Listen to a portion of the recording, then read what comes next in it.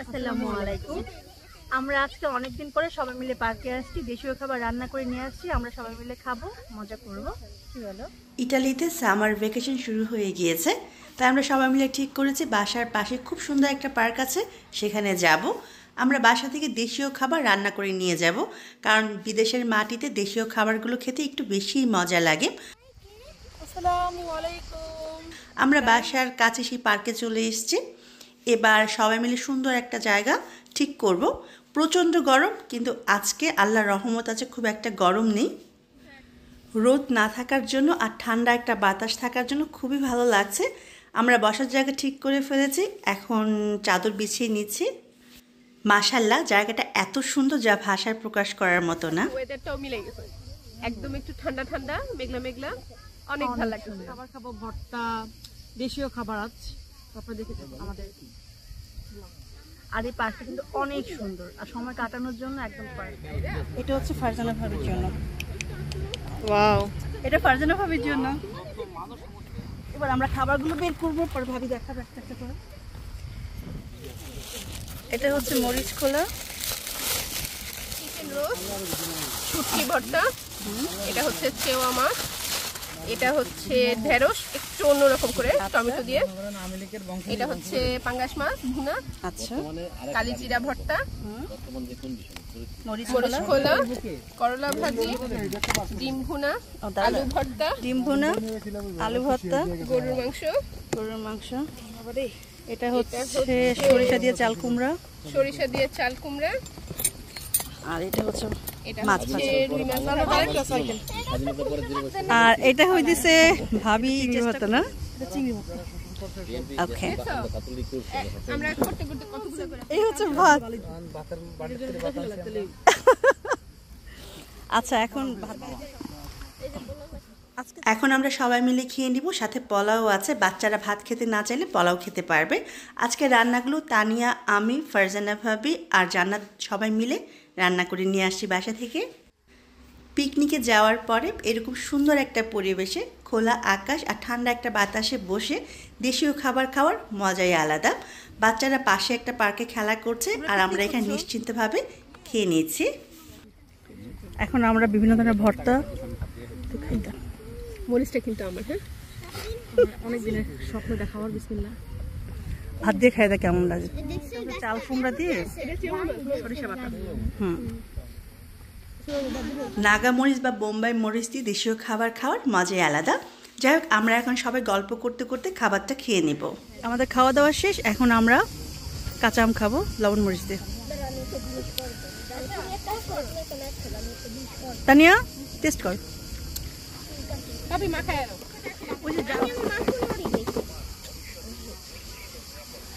আমরা এখন দুপুরবেলা লবণ মরিচ মাখিয়ে কাঁচা আম খাব। ইটালিতে এই সময় কিন্তু কাঁচা আম পাওয়া যায় আর গরমের সময় দুপুরবেলা কাঁচা আম খেতে কিন্তু অসম্ভব মজার।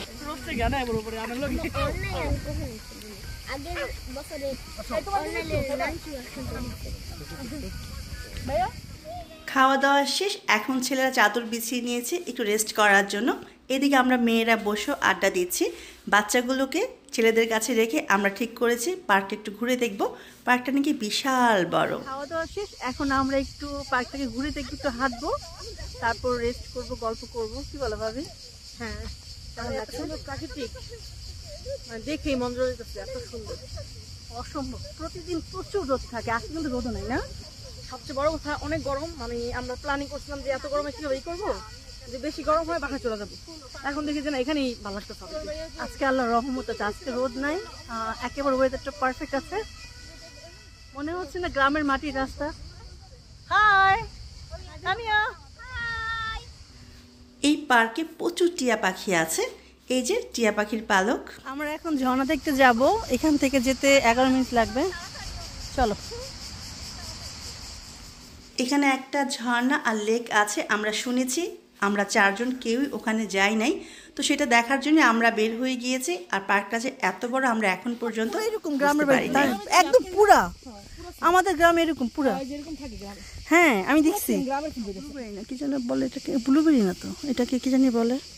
ব্লুবেরি এটা ব্লু না এটা নাম জানি কি? জঙ্গলের মধ্যে প্রায় ফেলছে। ব্ল্যাকবেরি ব্ল্যাক ব্ল্যাকবেরি ব্ল্যাকবেরি এই এখানে বসা এই বসে থাকা যাইব দেখছ?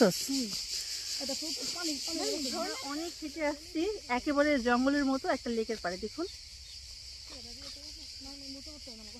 আশেপাশে কেউ নেই শুধু আমরা। একটু একটু ভয় লাগতেছে না?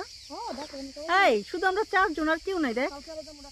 আজকের পার্কের দখল দখলে আমরা আছি। আমরা পুরোটা কিনে নিচ্ছি। পার্কটা আজকে আমরা পুরোপুরি ভাড়া নিয়ে নিচ্ছি প্রায় বাংলাদেশের টাকায় আট কোটি টাকা। শুধু একমাত্র ফ্রেন্ডের ব্লগের জন্য। আমরা এটা ভাড়া নিয়ে নিচ্ছি আট কোটি টাকা দিয়ে। চিন্তা করছ? এনিওয়ে আর কি বলব? আমরা কেউ বুঝতে পারিনি যে আমাদের হেঁটে এত দূর আসতে হবে। তাই সাথে করে কেউ পানি আনি নাই। আমরা সবাই টায়ার্ড হয়ে গিয়েছি। খুঁজে লেকটা তো পেয়েছি কিন্তু ঝর্ণা এখনও পাই নাই তাই ঝর্ণার খোঁজে আমরা আরও সামনে যাব। আমাদের চারপাশে শুধু জঙ্গল আর জঙ্গল। আশেপাশে একটা মানুষ নেই যাকে জিজ্ঞেস করব ঝর্ণা কোন দিকে বা কতটুকু দূরে গেলে খুঁজে পাবো। অনেকখানি হেঁটে আসার পর এটা পেয়েছি। এটা ঝর্ণা না এমনি লাগানো সেটাও আমরা কেউ বুঝতে পারছি না। যাই হোক আমরা আরেকটু সামনে যাব দেখি ঝর্ণা খুঁজে পাই কিনা। বিশাল বড় মাছ ছিল।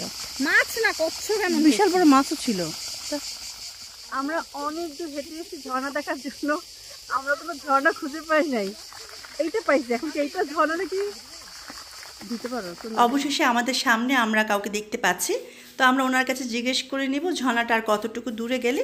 আমরা হাঁটতে হাঁটতে সবাই অনেক টায়ার্ড হয়ে গিয়েছি কিন্তু আমরা এখনও কোনো ঝর্ণা খুঁজে পাই নাই। একজনকে জিজ্ঞেস করলাম অনেক হাঁটার পরে এটা পাইছে? এটা সুন্দর কিন্তু আমরা এর থেকেও ভালো কিছু আশা করেছিলাম কারণ আমরা অনেকটুকু রাস্তা হেঁটে এসেছি। এখন পিছনের দিকে গেলে আমাদের আবার অনেকখানি হাঁটতে হবে তা এখন সবাই একটু এখানে বসে রেস্ট করে নিব। আমরা অনেকক্ষণ হেঁটে এখানে আসছি, পুরো জঙ্গল। এখন এখান থেকে কীভাবে যাব সেটা বুঝতে পারছি না। কারণ যদি এখন পিছনের দিকে যাই, তাহলে মিনিমাম এক ঘণ্টা হাঁটতে হবে। আর এত রোদ উঠছে এত গরম। আল্লাহ, এটা পুরো তেঁতুল গাছ।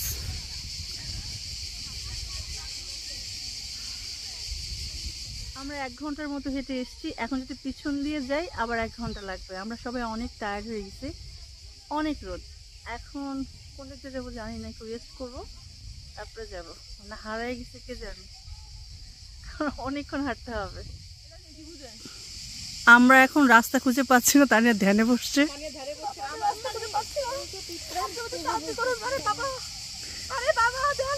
কি অবোধ নির্বোধ আসলে এখানে। আমার ধ্যানে কে সমস্যা করল? শোনো আমি অ্যান্সারটা দিয়ে দিই। দরবেশ বাবা রাস্তা হারাইয়া নিজেই রাস্তা খুঁজতে পারছে। আমরা রাস্তা হারিয়ে এখন বসে আছি। এই কার মনের অবস্থা কি বলো? ভাবি তোমার মনের অবস্থা কি বলো? আমার খুব পানি খাওয়া হচ্ছে আপনারা যদি বেশি কথা বলেন মেরে ভয় পাইছি ভয় পাইছি। তানিয়া? ডরাইছে। জান্নাত তোমার কি অবস্থা? ভাবি আমারটা মুখে প্রকাশ করার মতো না। অনেক দূর থেকে দেখে আসছি। অনেক টায়ার্ড হয়ে গেছে। এখন আমরা এখান থেকে পানি খাব। খুঁজে পেয়েছি যেহেতু এখানে আশেপাশে বার কিছুই নেই। মনে হয় এমনই মনে হচ্ছে না? আহ, পানি পাইছি পানি। কিন্তু কোনো বোতল নাই আমরা কি দিয়ে পানি নিব? আমরা অবশ্যই মরুভূমির মাঝে একটা পানি পাওয়ার মতো অবস্থা পেয়েছি। ভাবির জন্য এক গ্লাস পানি নিয়ে নিব। আমি আর একটু খাই আমি অবশ্যই যুদ্ধ জয় করে ভাবির জন্য আমরা পানি আনতে সক্ষম হয়েছি। হয়েছে ভাবি। আমরা এখন সাহস করে এদিক দিয়ে যাচ্ছি। আমরা কিন্তু এদিক দিয়ে আসি নাই, তাই না? আমরা জঙ্গল থেকে বের হয়ে আসছি, কিন্তু আশেপাশে কিছুই দেখা যাচ্ছে না। আমরা এখনও জানি না কতক্ষণ হাঁটতে হবে, এই যে। একটু রেস্ট করব। তারপর যাব একটা বেঞ্চ পেয়েছি ছায়ার মধ্যে। যাই হোক, আমরা একটু রেস্ট করব, তারপর আমরা এখান থেকে যাব। দেখুন, আশেপাশে কেউ নেই। ও আমার দেশের মাটি, তোমার তরে ঠেকায় মাথা। তাহার মাঝে আছে দেশ সকল দেশের সেরা ও সে স্বপ্ন দিয়ে তৈরি সে দেশ স্মৃতি দিয়ে ঘেরা। সকল দেশের রানী সেজে আমার জন্মভূমি সেজে আমার বন্ধু দেখো আসিয়া, আমি কেমন আছি পরের ঘরে? এক পায়ে নুপুর আমার, অন্য পা খালি। এক পাশে সাগর, এক পাশে বালি। তোমার ছোট তোরে বলো, নেবে কি? নেবে কি?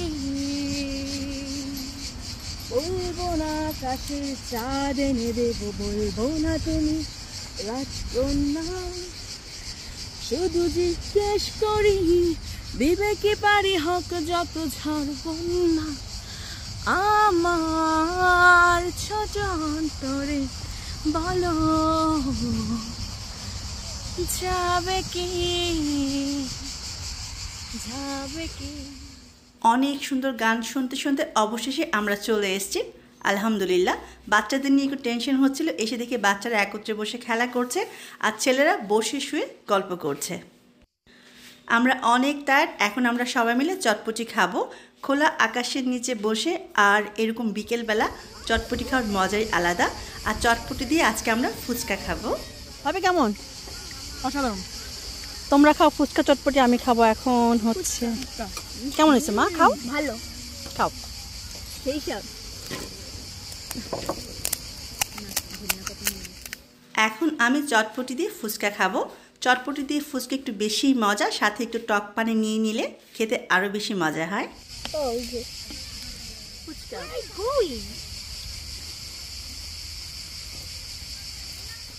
অনেক মজা। যারা ঝাল বেশি পছন্দ করেন তারা ফারজানা ভাবির মতো ফুচকার মাঝে একটু মরিচ বেশি করে দিয়ে নেবেন। চটপটি দিয়ে ফুচকা আর এভাবে একটু ঝাল আর টক পানি দিয়ে খেতেও কিন্তু অসম্ভব মজা।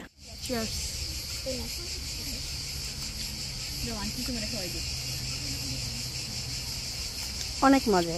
আমাদের চটপটি খাওয়া শেষ এখন আমরা সবাই মিলে আহ, পাতকুটি খেলব। ওই যে টেবিলের উপরে আমরা এখন সবাই মিলে পাঁচ গুটি খেলব। সারাদিন খুবই মজা করেছি, আর কীভাবে যে সময় চলে গেছে টেরও পাই নাই। এখন সাড়ে আটটা বেজে গেছে, আমরা সবাই এখন বাসায় চলে যাব। আল্লাহ হাফেজ আল্লাহ হাফেজ। সবাই অনেক ভালো থাকবেন। আজকের জন্য আল্লাহ হাফিজ।